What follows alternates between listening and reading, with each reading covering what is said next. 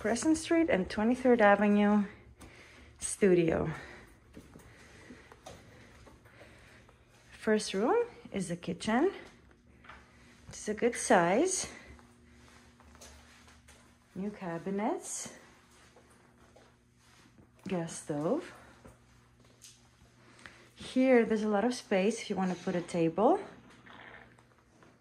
Fridge. There's a window there.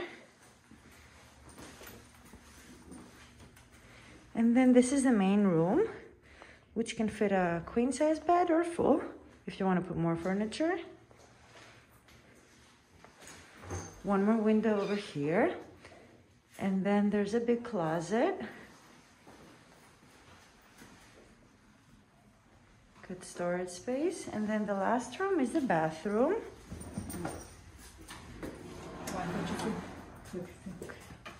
So there's a stand-up shower.